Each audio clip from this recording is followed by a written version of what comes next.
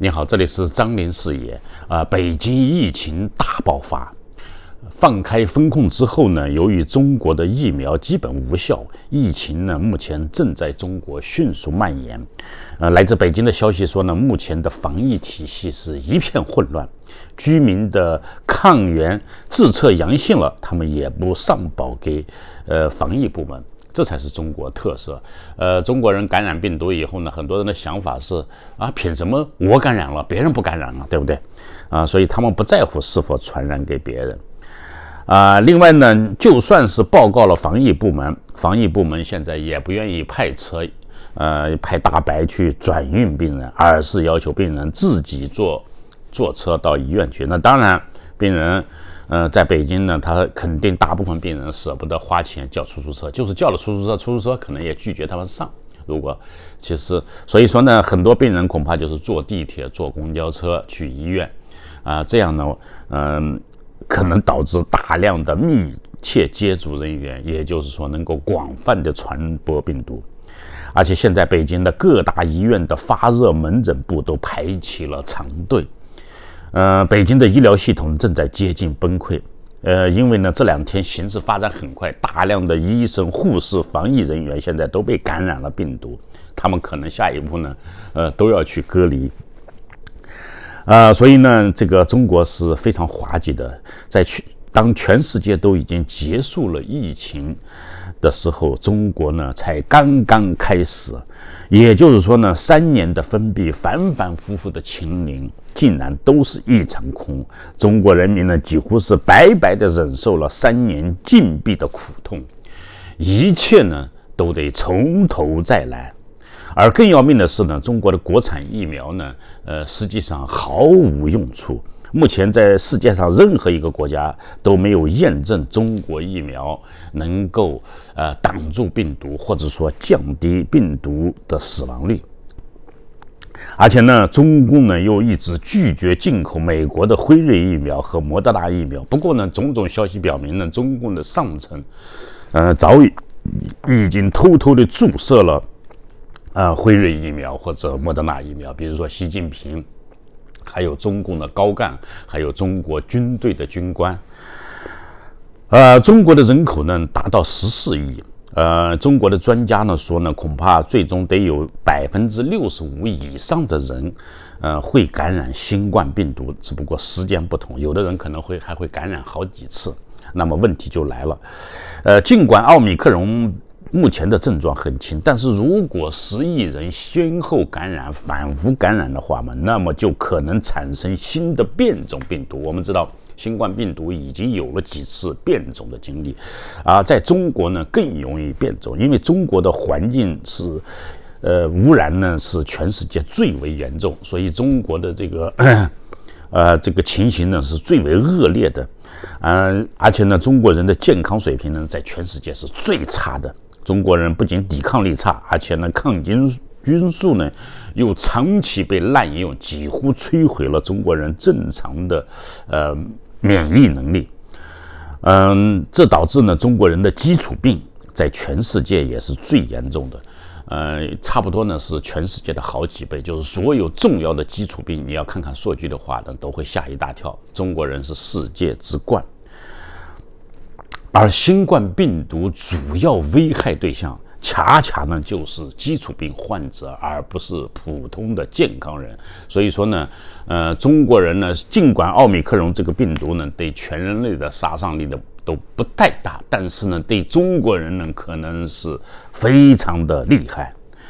呃，现在一般的西方科学家呢认为呢，新冠病毒呢是中国病毒学学家为了增强感染性，在 SARS 病毒的基础上，又加入了很多病毒，反复实验多次改造的成果。嗯，SARS 病毒的致死率呢本身就非常高，SARS 病毒本身也是呢中国实验室长期研制出来的，而且呢很。很这个特别的是呢，SARS 病毒似乎主要传播中国人，因为当年 SARS 病毒主要泛滥成灾的就是中国香港和台湾这三个地区。嗯，直到现在呢，呃，中国的很多病毒实验室里仍然保存着 SARS 病毒。嗯，中国的媒体甚至曾经两次报道过，在二零零三年 SARS 肆虐呃之后呢，呃，又又泄露，不过呢，都因为及时发现而阻止了传播。嗯，在这个新冠病毒传播到西方之后呢，呃，由于来势汹汹，所以美国的这个大型的医疗这个企业都投入了呢，比平时疫嗯研制疫苗多几十倍的资金，呃，科学家还有科科研人员，但是呢，呃，还是花了一年多才拿出这个疫苗。为什么呢？因为西方科学家不了解新冠病毒的主要成分，那就是 SARS 病毒。也就是说呢，中国社会呢，中共呢是蓄意向全人类发誓，呃，发动病毒战。所以呢，他没有告诉呃国际社会这个 SARS 病毒的呃这个情况。也就是说呢，它的这个，比如说 DNA 它的序列等等。所以说呢，才给国际社会，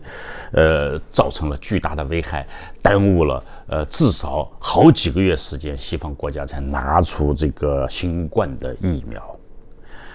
呃，另外呢，就是有消息表明呢，最近几天呢，中国很多地方仍然有大型或者小型的呃这个群众集会，尤其是大学里面，呃，就在前天晚上，浙江大学还有上万学生聚集抗议。呃，学校的不合适、不合理的管理，啊，所以说呢，我感觉到呢，中国正在进入群体抗议时代，而这个呢，很可能就是三年呃风控的结果。也就是说呢，中国人现在基本上都患了抑郁症，啊，就是说呢，一触即怒，很容易就是说呢，呃，表达抗议，就不像以前那样，啊，就是那么老实，那么呃好管理了。而且呢，马上中国呢还要进入疫情大传播时期，呃，这样呢可能会使中国人更加愤怒，呃，所以说呢，中国这个社会呢是危本来就危机深重，呃，将来呢很可能随时呢各个地方都能闹出事情来，而且呢，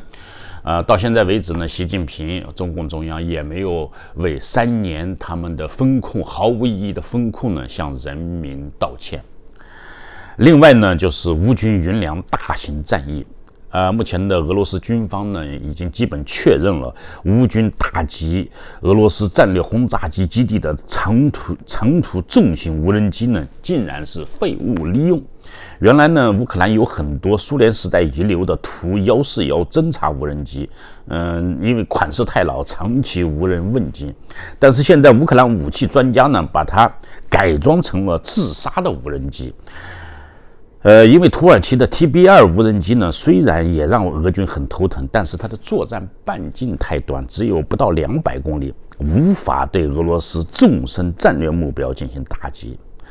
而给航程可达五百公里以上的图幺四幺无人侦察机安装上炸弹，是相当不错的选择。这也证明了乌军现在有不少能工巧匠。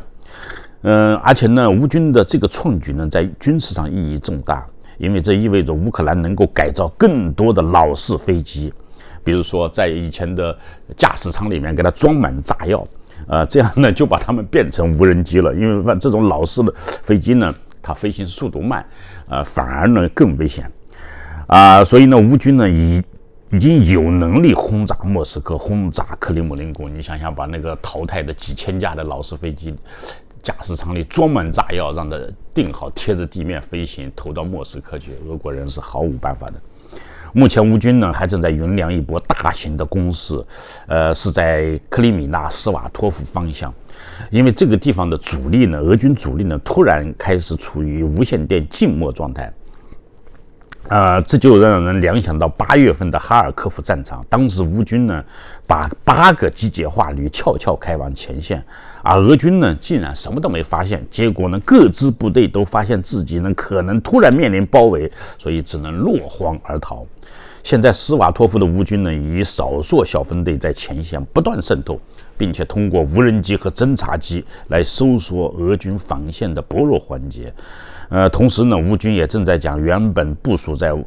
那个乌克兰南方的海马斯火箭炮呢修整好了以后呢，正在调到巴赫穆特战场。这些大杀器呢，将在登巴斯数百公里的公路上进行机动作战，将能够对俄军呃造成大